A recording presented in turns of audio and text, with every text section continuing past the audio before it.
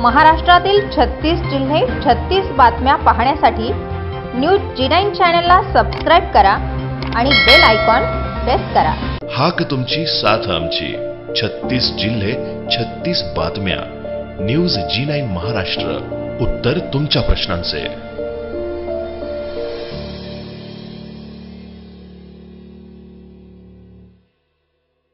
औरंगाबाद जिल्ह्यामधील पर्यटन स्थळ सतरा जूनपासून चालू करा असे आदेश औरंगाबाद जिल्हाधिकारी सुनील चव्हाण व पोलीस आयुक्त डॉक्टर निखिल गुप्ता यांनी काढले आहेत.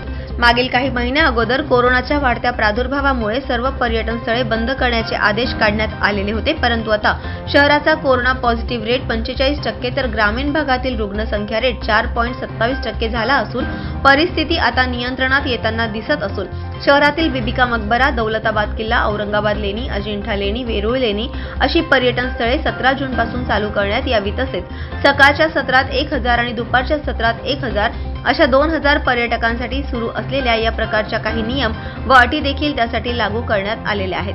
तसेच दोन दिवस अगोदरपासूनच ही पर्यटन स्थळे साफसफाईची कामे हातात घेण्यात आलेली आहेत. नमस्कार.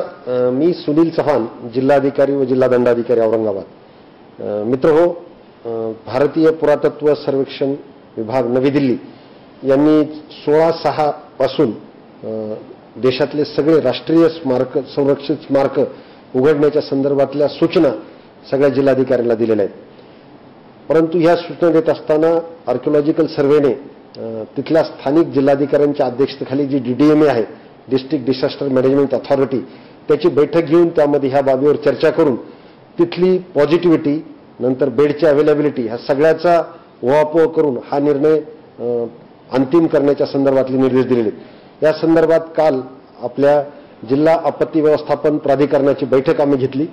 या बैठकीमध्ये या विषयावर चर्चा झाली. आपल्या जिल्ह्यामध्ये जे भारत सरकारचे संरक्षित स्मारक आहेत याच्यामध्ये बीबिका मकबरा औरंगाबादची लेणी अजिंठा एलोरा केव्ज आणि दौलताबादचा किल्ला अशी ही पाच स्मारक आहेत. या पाचही स्मारकाच्या बाबत चर्चा झाली. तिथं किती पर्यटक मागे येऊन गेलेत? दररोज तिथं किती फुटफॉल असू शकतो? याच्या संदर्भातली ही चर्चा झाली.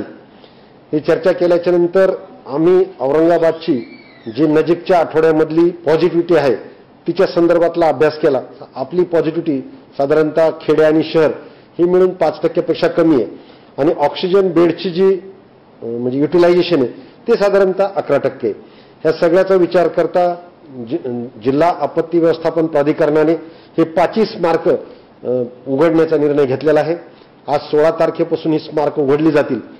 पहिल्या दिवशी या स्मारकाच्या संदर्भात तिथली कारण बऱ्याच दिवसापासून ही स्मारक बंद आहेत ही ही पर्यटन स्थळं बंद आहेत. याच्या याच्या सुरुवातीला याच्या संदर्भातली स्वच्छता केली जाईल तिथल्या इलेक्ट्रिफिकेशनची स्वच्छता केली जाईल नंतर पर्यटकांच्या सुरक्षेच्या दृष्टीने त्याची तपासणी केली जाईल. हे सगळं काम आज पूर्ण होईल. आणि उद्या सकाळपासून ही सगळी पर्यटन स्थळं सकाळी सहा वाजल्यापासून उद्या म्हणजे सतरा जूनला सकाळी सहा वाजल्यापासून नागरिकांच्या सेवेमध्ये रुजू होतील.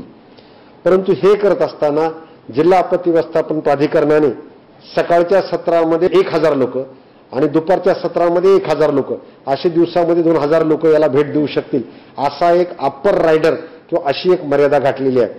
कारण बऱ्याचशा या पर्यटन स्थळाच्या बाबतीत किंवा या स्मारकांच्या बाबतीत ऑनलाईन बुकिंगची सुविधा आहे. त्या ऑनलाईन बुकिंगच्या सुविधेमध्ये ही मर्यादा ही घालूनच पर्यटकांना तिकीटं किंवा बुकिंग दिलं जाईल. तर माझी सगळ्यांना विनंती आहे की हे सगळं करत असताना जिल्हा प्रशासनाने जो निर्णय घेतलाय तो प्रामुख्यानं या पर्यटन स्थळाचा लोकांना आनंद घेता यावा. प्लस इथं जे लोकांचं याच्यावर जीवनमान अवलंबून आहे त्यांची रोजीरोटी अवलंबून आहे तिथं अनेक लोक अनेक प्रकारचा व्यवसाय करतात त्यांना मदत हे व्हावी असा यामागचा हेतू आहे.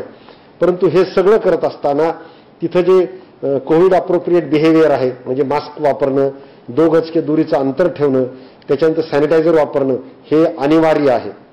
प्लस तिथं व्यवसाय करणारे जे व्यावसायिक आहेत छोटे मोठे खेळणी विकणे विक्रेते आहेत काही फूड स्टॉलचे लोक आहेत काही गाईड आहेत या सगळ्यांच्या बाबतीत मात्र आरटीपीसीआर टेस्टिंग महत्वाची आहे. जर त्या मंडळीचे दोन डोस पूर्ण झाले असतील पुन्हा रिपीट करतो तिथं अशा काम करणाऱ्या लोकांचे व्यवसाय करणाऱ्या लोकांचे गाईडचे दोन डोस पूर्ण झाले असतील व्हॅक्सिनेशनचे आणि त्याला काही सिमटम नसतील तर त्यांनी टेस्टिंग करायची आवश्यकता नाही.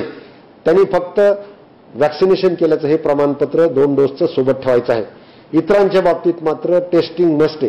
परंतु हे सगळं करण्यासाठी आम्ही त्यांना उद्यापासून म्हणजे सतरा तारखेपासून सात दिवसाची मुदत देणार आहे. की सात दिवसाच्या कालावधीमध्ये त्यांनी ही टेस्टिंगची प्रक्रिया पूर्ण करायची. माझी सगळ्या नागरिकांना विनंती आहे आणि हे राहणार आहे की हे सगळं करत असताना प्रशासन माननीय मुख्यमंत्री महोदयाने सांगितल्याप्रमाणे आणि गेल्या आठवड्यामध्ये माननीय पालकमंत्री महोदय आले होते.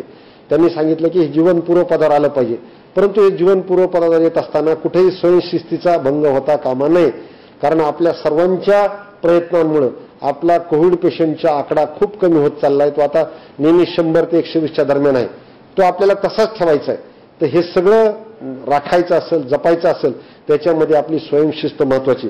तर चला मग मित्रांनो उद्यापासून आपण या पर्यटन स्थळाचा आनंद घेऊ शकता ज्याच्यामध्ये बीबीचा मकबरा आहे औरंगाबादची लेणी आहे अजिंठा इलोराची लेणी आहे आणि दौलताबादचा किल्ला आहे. पण हे सगळं करत असताना तुमच्या मनाच्या कुठे कुठल्या तरी कोपऱ्यामध्ये कोविड अजून गेलेला नाही ही भावना जागी ठेवा स्वयंशिस्त पाळा आणि प्रशासनाला सहकार्य करा.